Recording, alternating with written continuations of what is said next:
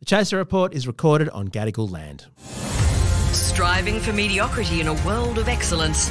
This is the Chaser Report. Hello and welcome to the Chaser Report. It's Dom here. I'm sorry, it's another replay today. However, I have lined up a lot of great stuff for later in the week. Andrew Hansen's back to look back uh, on the raw dogging challenge we set you last week. We got a lot of emails about it. No one has claimed to have listened to the entire thing and sent us a video, although some of you did say you went to sleep listening to that episode, which I find entirely plausible. So Andrew's back, I think, tomorrow, and then later in the week we'll take a good look at the DNC with some of our favourite US politics experts as Joe Biden says farewell and Kamala Harris tries to step up to the plate. Today, we're going to do one of those things where we gloat about being right. I'm sorry, it's annoying, but I'm quite proud of this one. I guess when you do a daily podcast, it stands to reason that occasionally, occasionally you're going to get with a trend somewhat. And this is all about enshittification, um, a theory invented by Cory Doctorow last year, whereby he's talking about platforms like Facebook and uh, Snapchat and Instagram and whatever. And his theory was that they start by being good to their users and giving a good experience. Then they're good to their to the businesses who pay them, so their advertisers, to the expense of users. But then they're bad to their advertisers as well as their users and try and capture all the value for themselves. He says that all platforms basically decline in this manner over time, and he called it enshittification. They become crapper over time. Seemed pretty good to us. But we said in October last year, hang on, Cory, isn't that happening with everything? With everything. Everything's turning shit over time. Nothing is good anymore. And here's the thing Cory Doctorow actually wrote an article this year after our podcast arguing that we were entering the enshittocene, the period where everything becomes crap. We kind of meant it as partly a satirical joke. He's arguing it more seriously. However, I'm still claiming that we got to it first. Everything is turning crap. That's the subject of today's podcast, looking back at our argument uh, about that, the enshittification of everything, but also our campaign to get enshittify into the dictionary. And while it might not be in the Macquarie Dictionary yet, it is in Wikipedia. And it was, according to the American Dialect Society, the word of the year in 2023. So I'm going to claim that as a win as well. Did we have anything to do with any of that? Yeah, probably not. However, that's never stopped us from claiming victories before. Let's claim this one. I'm starting to miss Charles a little bit. I don't know whether you are. If you're missing Charles, send him an email and me as well, podcast at chaser.com.au and tell him to come back, the lazy sod. I'm expecting him back uh, early next month. Anyway, let's look back on how everything is turning crap, a common theme of this podcast, and indeed the shitification of everything. It all kicks off after this ad. Dom, I've got a bit of a task for us and all the listeners. Oh, great. Okay. You're putting us to work. Yes, because a listener emailed us actually a few weeks ago, but I've only just uh, read the email. And it turns out that one of the words that we used on a podcast back in August, which was we were talking about the enshittification of Twitter. Oh, that's right. And then we extended it to the enshittification of everything. It was one of those one of those bleak episodes that we tend to specialise in here at the Chaser Report. Yeah, so that had such a profound impact on one of our listeners that he then immediately emailed the Macquarie Dictionary Yeah.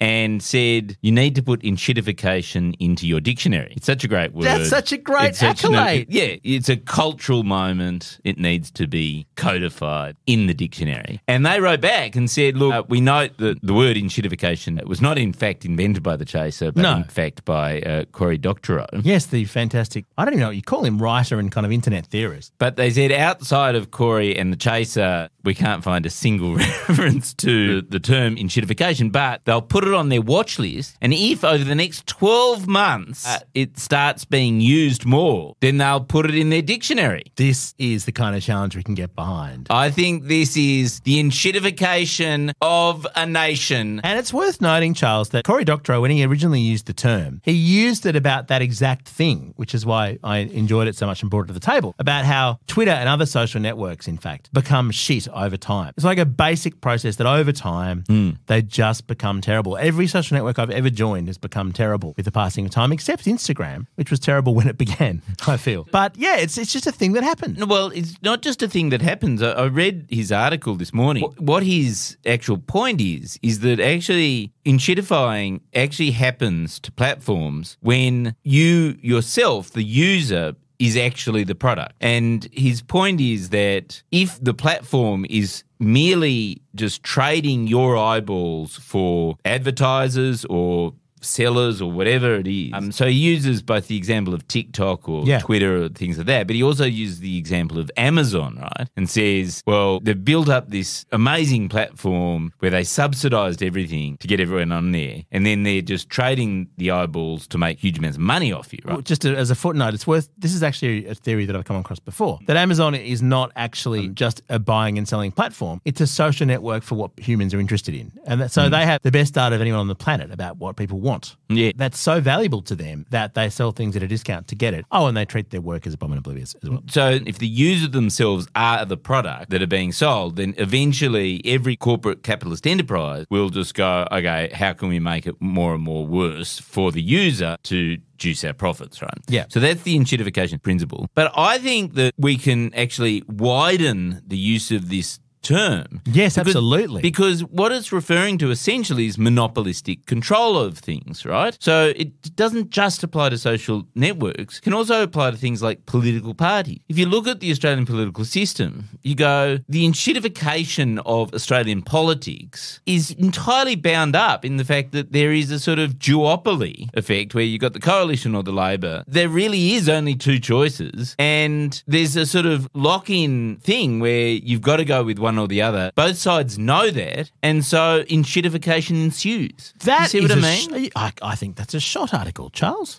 I really do. The shot.net.au. Yeah. But no, but you're quite right. And the point is, you see this from Labor all the time. Hmm. They can take 80% of their base for granted. Yes. Because they've got nowhere else to go. They don't want to go to the Greens. I can just imagine Greens people like Tom Ballard going, oh, what about the Greens? They're so pure and so on. They can afford to be pure because they don't have to win government, right? Yeah. And so basically, built into Labor's business model now Yes. Is disappointing 80% of their supporters. Yeah. To go after the people in the marginal seats. To enshittify their product. Yes. To actually thrive. because they don't need those voters anymore. Yeah. So they can just abandon them and have a shit product that isn't going to completely. St- and this is why Kevin Rudd was mm. so successful because Kevin Rudd's version of anything, Yes. like he's an enshittification machine. Yes. I mean, he, he when he, He was is- leader, the thing immediately became far duller just by his involvement. Enshittification personified. he is, he Yes. is, but, but very successfully so. But it's not just politics, right? So you can then look at, say, mobile phone networks, right? Oh wow, Charles, you really thought about this. And so, you know, we had 3G and 4G. Mm. And in actual fact, for a while, there wasn't just the three major players, but there were always those sort of little bit players. Yeah, I mean, there was Orange and Three yeah, and various other little And then there was sort of like OneTel, and some of them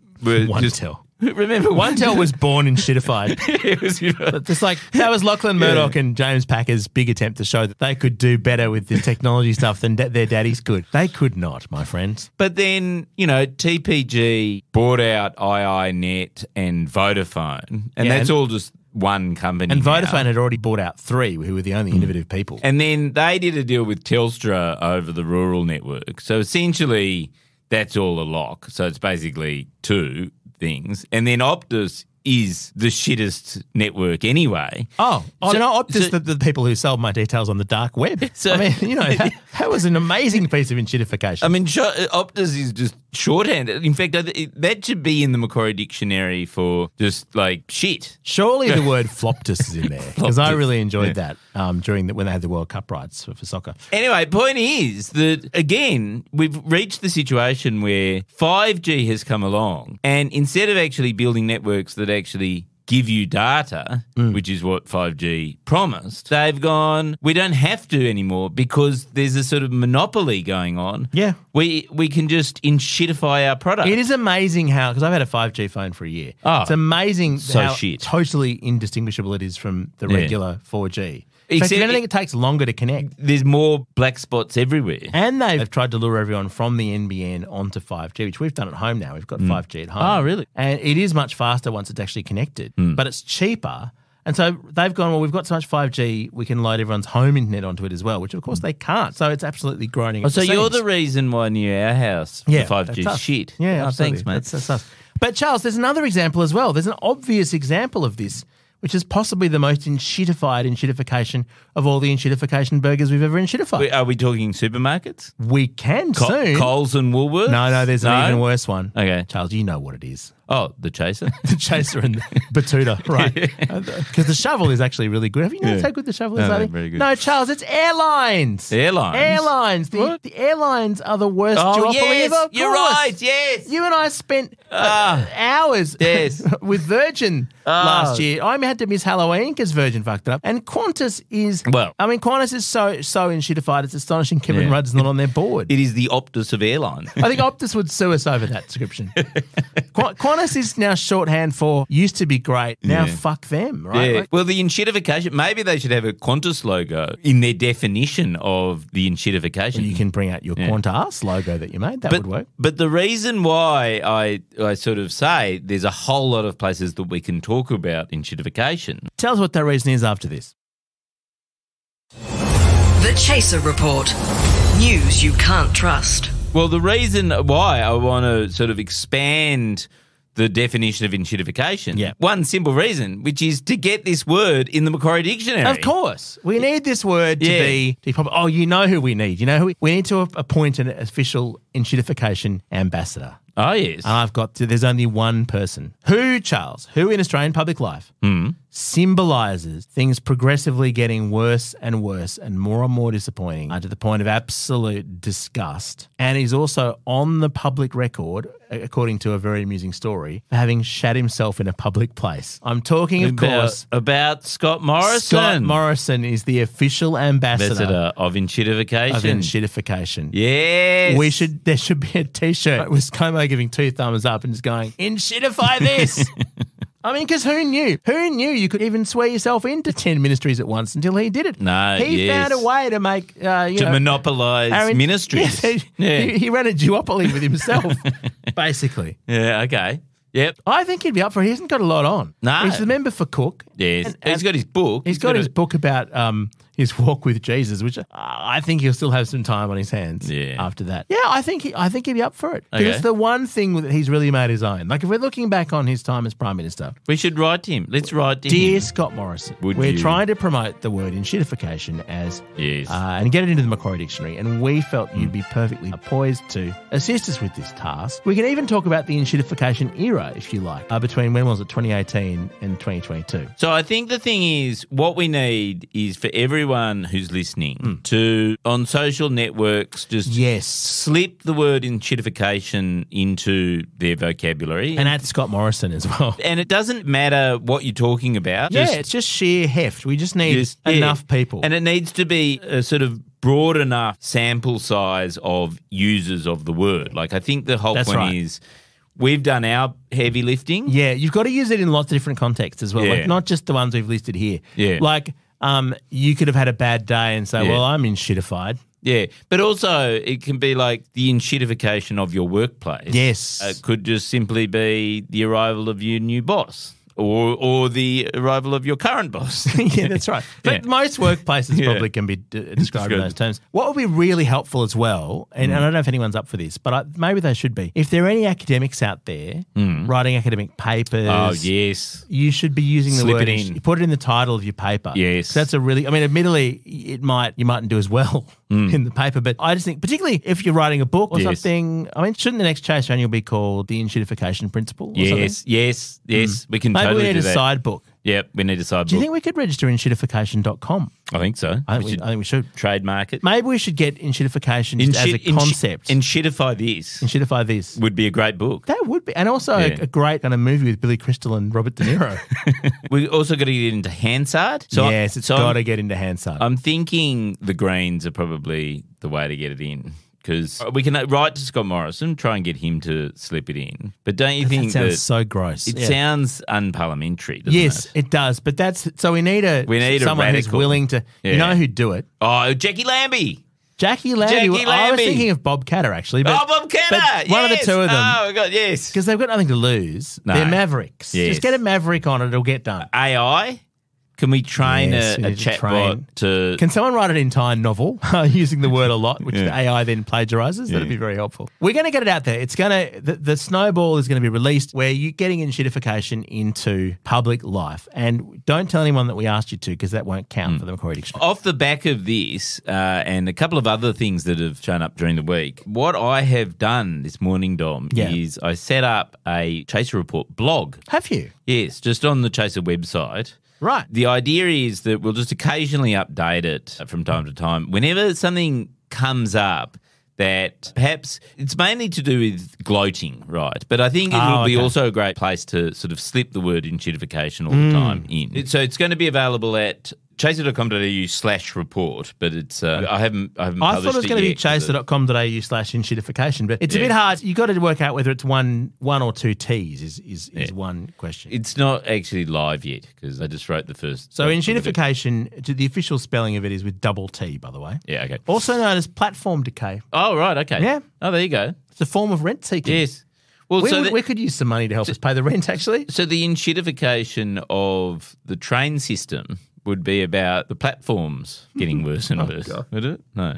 Okay. Yeah, uh, uh, public transport is Yeah. probably a very good The example. enshittification. Yeah, yeah. But no, no. So I've set up this blog. Check it out. If you go to chaser.com.au and just click on the menu, you'll be able to see where it is. And the whole idea is it's mainly set up there to gloat. Yeah, sure. And so, for example, earlier in the week, we talked about, well, we came up with a solution for the Middle East crisis. Yes. Which obviously was uh, to transmit the Israeli flag onto Sydney Town Hall. Wasn't that influential? It was very influential because then the next day, so Clover Moore She stopped the it. idea. She stopped, She the stopped idea. division, yeah. She stopped peace in the Middle East. And we came out and we slammed her for it, didn't we? Slammed. Yeah. That was heard in Tel Aviv, Charles. And then, yes, exactly, because a day later, the Israeli military also came out against Clover Moore. So, you know, if you're wanting to listen to, you know, a podcast that sets the agenda, then you should probably download the Daily, uh, which the New York Times does. But you could also listen to the Chase Report. And on this blog, we'll be able to, because I was pointing out, like, uh, in the first entry on the blog, I point out all the times where we've been ahead of the news. We've set the agenda. And it's because the world is so satirical that it, if you describe things in satirical terms, then hmm. it usually turns out to be true later Hmm. We're just on. always making a satirical exaggeration of things, which Yes. turns out to be what actually happens. Charles, I But- love but it- the fact. I but- love the fact that while they're on the verge of full scale ground war, can we just note, Hmm. while th- there are hostages who have been taken, and it's basically a huge national emergency in Israel, an IDF spokesman had the time to go on Australian Hmm. Slam- radio and to slam, Clover Moore. Yeah, I know. Fantastic. Well, you know, it's eye on the prize. What, what matters? Hearts and minds, Charles. Yeah, exactly. Hearts and minds. All right, so help us chronicle the enshittification of everything. Yes, but and also- gloat on our blog. But my plan is for the blog to essentially take over the internet and become its own platform. At which point, Oh.